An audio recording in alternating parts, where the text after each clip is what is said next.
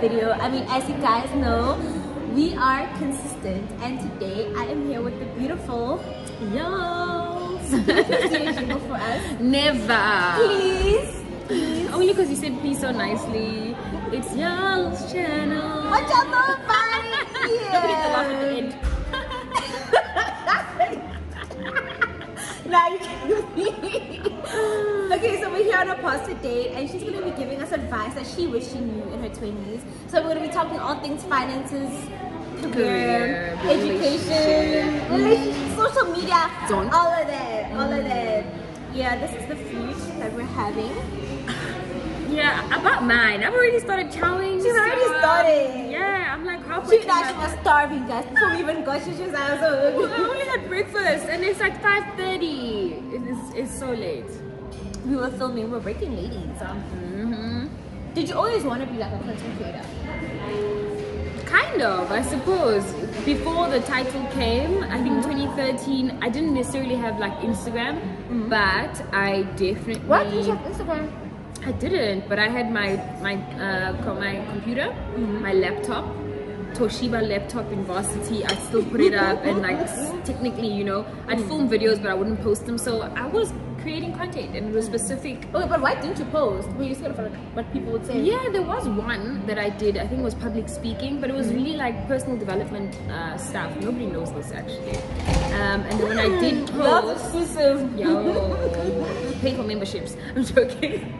Um, no, I mean Not. you know, you know. I literally just, um, yeah, I kept them. And then there was one public speaking video and confidence video, just how to build your confidence that I ended up posting and then I deleted them. Some I made private. I don't know, like actually everyone goes through that stage and this is the one thing I probably never shared even on, on my own channel. Mm. Yeah. I just didn't. Excuse me. I just, I literally didn't. And then when I did post, it was my frustration at work 2014, 2015. Mm-hmm. I felt boxed in the bank. I needed to channel my energy. And I suppose in that way, I started feeling like creating content was a good way of me channeling my, my energy, my love for people, my love for mm. speaking, my love for, you know, living out a purpose. It actually made a lot of sense. Like all of the things that you love coming together. Yeah, mm. absolutely. So that's that's sort of how it started, and I suppose then I knew that that's what I wanted to do. Outside of the money, I didn't know the money existed. But the money is very important. Oh, the money money's good, girl. We was Don't working today. We was working today. Me and you was working today, so Guys, we know the shooting content. for clients. Yeah we really are content creators. we are. Then, with all of that being said, Mm. what advice would you give someone in their twenties, like someone like me, who's starting, you know, being a content creator? Just entered your twenties. Mm, like you, you know, like you're not even sure who you are yet. It's just very. Mm, mm, mm, mm, mm. Build the plane as you fly it. Build the plane as you fly it. Imagine flying a plane and not even knowing if it's got a second wing. That's that's your twenties. You're still figuring so many things out. And you're so right. Like, I'm You so confused. Exactly. Everything is so confusing. Even what I just said is confusing, but when you think about it, that's life, especially during these times of a lot of uncertainty outside. Figure it out with your audience. Um, content create, make mistakes. Um, And I do- think do more it. than anything, just start, guys. That's the biggest thing, and that's Just the thing about building the plane. You're not waiting for the plane to be completed. You're saying, "Let me start with a wing." Let's And actually, you how are so right. Because, like, a part of me, I always wanted to wait until, like, I was a certain version of myself before I put myself out there. Like, I wanted to work on my. But then I realized that. that When are you gonna get there? Hmm. You don't know. So that's exactly why if you're flying the plane, it's already in flight. That's you hmm. starting, but it's not finished in terms of you building it. So start and create. Progress is far better than perfection. Some people aim for that final stage and never start. But if you actually start, you see yourself progressing and getting to a place where you've done so much more than you know being fixated in making it perfect. But then, thing is, no, Mm. in your 20s, it's so easy to want to be like perfect. Because also, like with social media and the stuff that we see, people are a certain way. So then, like, how do you get over that? Just jump. That's exactly what I'm saying. Imagine even building a plane sounds absurd, but that's exactly why that works. Build the plane as you fly. Why would you build a plane? why would you have things figured out? Why wouldn't you jump? What do you have to lose? I always ask myself, if I'm taking a risk, what do I really have to lose? And in my 20s, I asked myself, well, if I had to go bankrupt, what what would happen after that? Like, what's the worst thing that could happen? Mm. You could recover. You can go back home. You can be on ground zero. Even if you lose, like, what's the worst that could happen? You're not going to lose. Lord forbid, you know, you still have your parents or family to take Okay, you true, in. So that's like the most likely situation is that you'll get back up.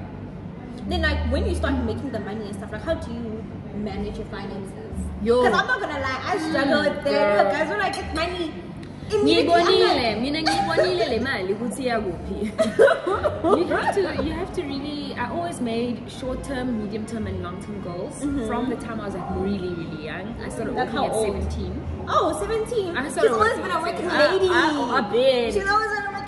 You know so have money to spoil yourself but always have something to save and have a goal attached to it. Hmm. Name it you know.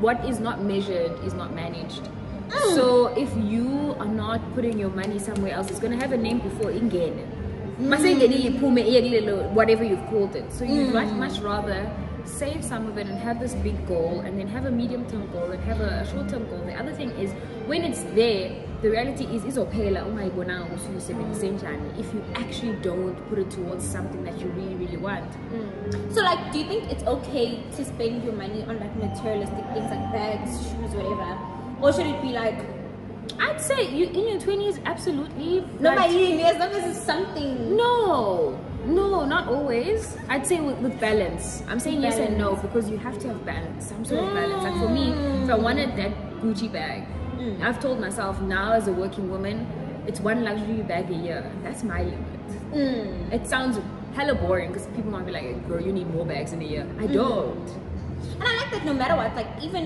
with what people say and what, what with what people expect, you stick to your lane. That's my lane, and the thing is, I don't wear. It's not even gonna get its wearability. It's so much more expensive sitting in my cupboard than it being used. So what's the point? For me, it doesn't satisfy me, but it's really nice for me to know which I spoiled myself personally. But if you're somebody who does lean towards your luxury bags and stuff like that, buy one or two, and also allow yourself to be content to actually enjoy it. Because for some people, it's like you get it and you're like, what's the next bag? Have you actually enjoyed the one that you bought? I feel like you I me. feel like you being you feeling like you're being called out. But really, are we really enjoying um, the things we are buying, or are we part of this instant gratification world so much so that we live past the good moments, the time when we savor in, like you enjoying your food right now? I don't you am, enjoy guys. your bag? Like you know, s- we work hard. If we're not going to, to put our money towards the things that we actually really enjoy hmm. and take the time and the moments to enjoy them, what's the point? Girl, you preaching. I'm always teaching. No, but the food is good actually. I'm not, Mm. I'm not mad about it. No, I'm glad you suggested this. It's really good.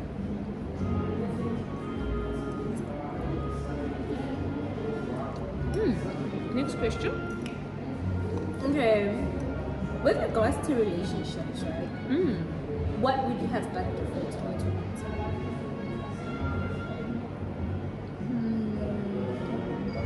I mean, because you clearly know what you're doing. I was even married. I was single when I was 20. And I got back with my now husband. Um, Girl, I feel like you're anting me. Yo. I'm sorry. No, I wasn't single before that. First year I was playing around.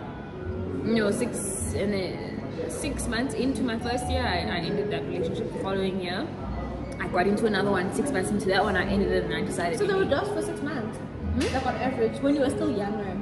Yeah, that's the longest. No, no, that's the longest it's ever lasted. Before my husband. Yeah, I had like short, short, short, short is like two weeks. Hmm. I, I feel, yo, yo. Yeah, I feel better about myself because most of the time my relationships would average about three months. Then after that, we're paid. Yeah, I, like I didn't take them seriously, Be like and that sometimes. I also didn't want to give my all to relationships. I had other things. I think I was very focused on school. I was focused on um, like the big dreams, the girls that wanted to be in the media. I was focused on all those mm. things. I was doing auditions. I was I was very busy, man. Yeah, I was busy. And you So, are, even I still am, Not yeah. even busy, girl. So I feel like that part of my life needed to pause and I needed to really build up my independence and who I am. So when I got back with my boyfriend, who's now my husband, I knew who I was fully and completely, and I was also ready to share that part of my life with somebody romantically, mm. and it worked out because we had both had times in our lives where we didn't have anyone else. We built ourselves, we became independent, and we also didn't become so dependent on each other that you lose yourself in a relationship. It's, it's really important to take that time of singleness, I think personally. Hmm. Excuse me, to get to know yourself, like really get to know what you really like, what you don't, and what you find with men. Hmm. They are so much more articulate about what they don't like, more than we are. One thing about men, they don't compromise. and Your men will never compromise. So when when do you build that that confidence up when uh, if you don't take the time out to really build that? So I think for me personally that's what worked. And now I know who I am in my relationship. I know that he's got his ish together, I've got mine. No one can take that away from And either of when you say like having your ish together, would you recommend finishing school first before you get into like a serious relationship? No, not if your relationship is not a distraction. Mm. No, not if your relationship is not your security, because then you hmm. become ins- you really insecure. Nah, she preaching. You know, but ah, that's you. You need you, you need a relationship that's gonna complement you and not hmm. break you and become the crutch. You don't want to lean on someone or lean on a relationship. At the end of the day, we need a dependence. The only dependence I trust is the Lord. That's it. So As long as- th- that's my security, you hmm. know. And when you have that, you are secured in yourself. You are able to then, I think, fully give of yourself in your relationship and fully give that relationship a chance to grow.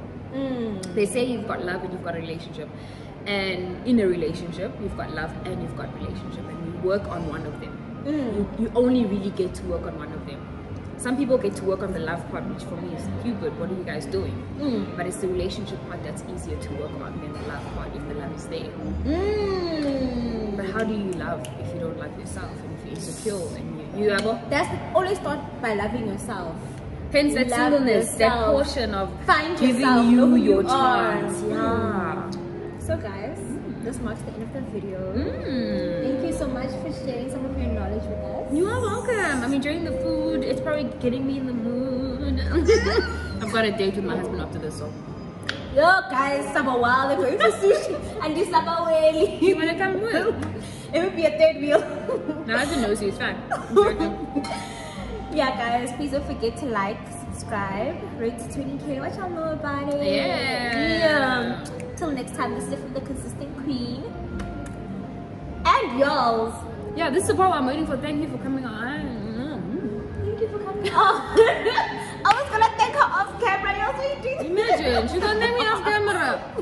No, thank you for Was I on. acknowledged? I'm joking. I actually, no, actually, I started by thanking you when I said thank you for sharing your knowledge with us. Oh, you did. I'm sorry. See, I apologize. You're welcome. Thank you so much for having me. Bye, guys. Let's eat. That was so awesome.